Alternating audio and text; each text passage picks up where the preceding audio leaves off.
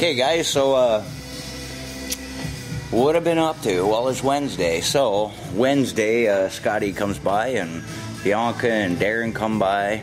So, got into the alcohol. And had an awesome sausage barbecue. Still got a pack of buns left, but it was absolutely awesome. But now I've got to get to work. buddy of mine uh, brought his mom's uh, Mazda RAV4 and absolute piece of junk. sorry about that. Piece of junk. Um, the, the gas tank was actually held up with uh, bungee cords so this is the old uh, strap here and you can tell it broke there. Um, so I went to Zubix and got some much, much thicker metal, which was a heck of a lot more of a pain in the ass. And you can tell the thickness difference. This is like really thin stuff. I got some really thick stuff. But the problem is, using the thick stuff and making your own is trying to bend it and get it perfect, right? So, but I've got that all back together. Um, give me a second here. Oh, still a bit lightheaded. Instead of uh, the raving mechanic, it's the drunk mechanic tonight. No. but, uh, oh, let's get under here and grab a look. And uh, welcome to my world of rust. Rust everywhere. Yep. So there's my new strap. It actually worked out pretty good. I'm kind of impressed with it. Um, yeah, it's holding. That's what matters. And, and the problem is, I don't know how you can tell, her drive shaft actually, the gas tank dropped onto the drive shaft. So thank God for this uh, metal shield here. or she would have had some huge problems. But now this one here, I don't know why.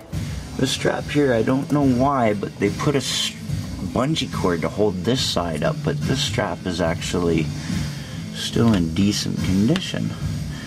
So I think they just did that for safety. But, as you can tell, the bungee cords. So I guess we can get them out of there now. Do do do do do do do. Uh, if I can find where he's got all hooked up.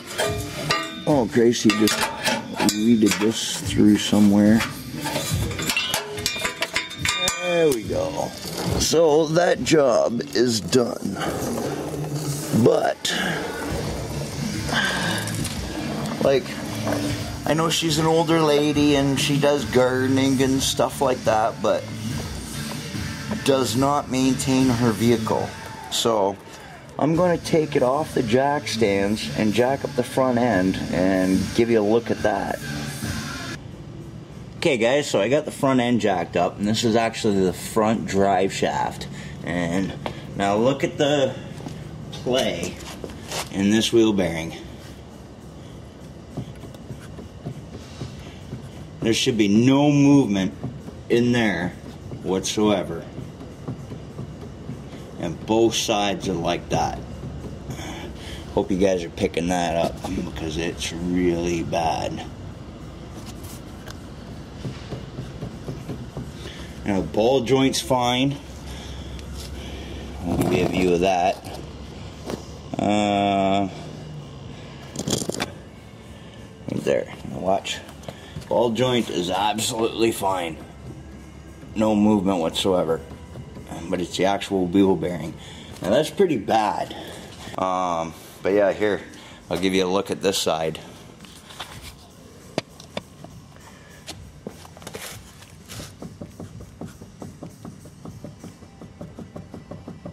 You guys can probably hear that. That's really, really bad.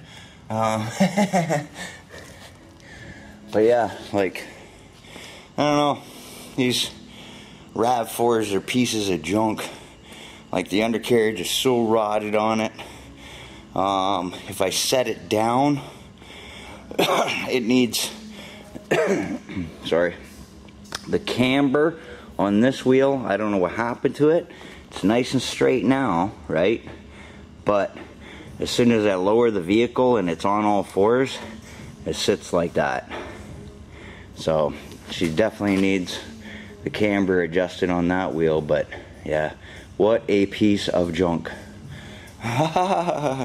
so, gotta give her the bad news. She needs two front wheel bearings, and she said she had this wheel bearing replaced, but I noticed the whole front end is loose, and so we broke it down to it needs both front wheel bearings, and they're a bitch because they're the pressing ones. They're not the easy hub and bearing assembly. You got to press them in or press them out and press them in. So, oh well. She's going to get the bad news tomorrow, but my strap is done. So, I'm going to continue. Um, yeah. Mmm. Cheers, guys. Hope you guys had a great night. I did.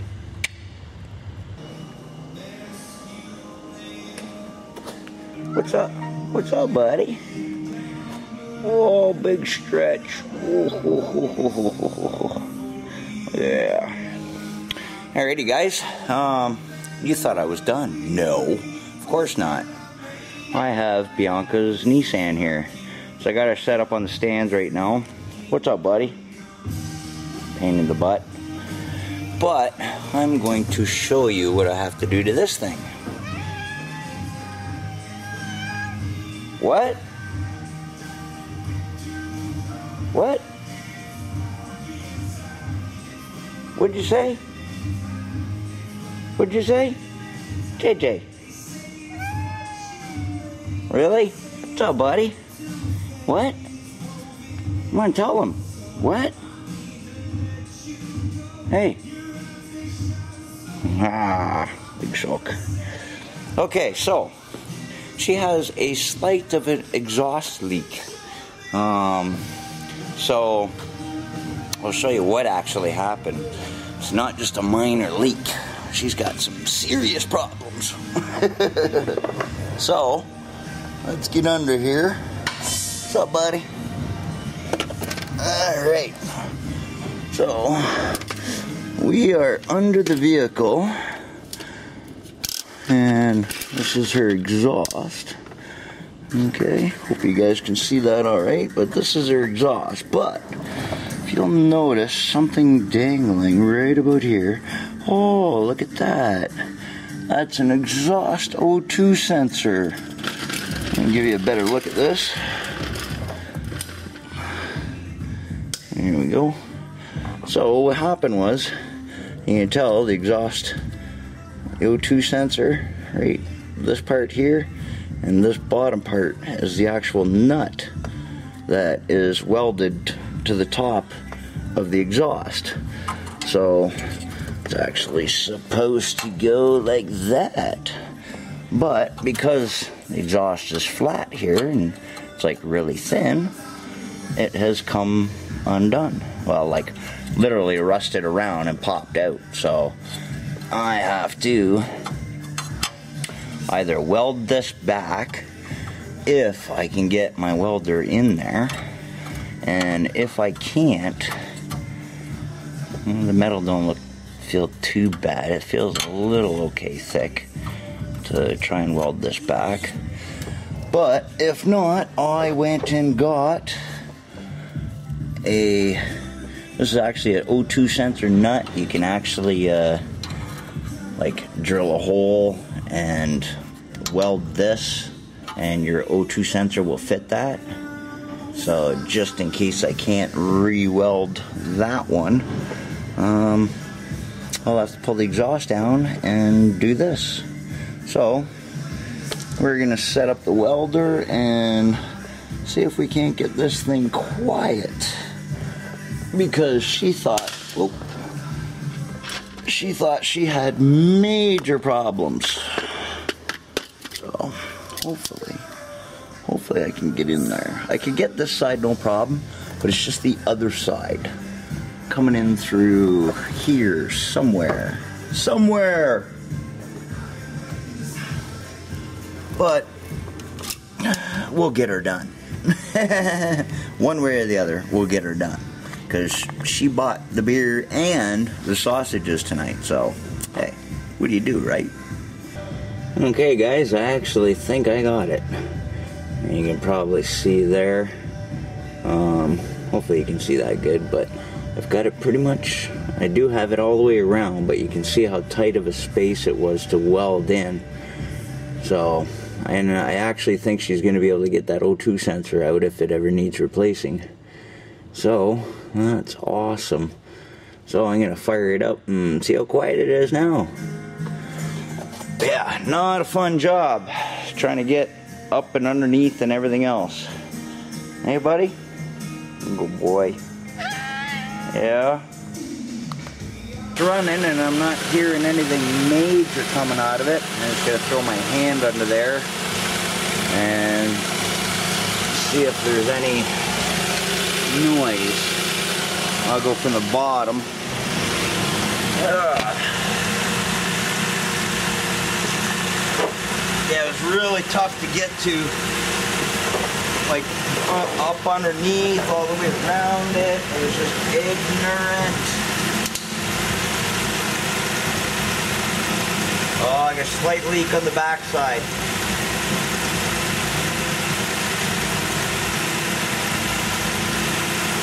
Everywhere else is good. Just slight leak on the backside, so I'm gonna see what I can do about getting that.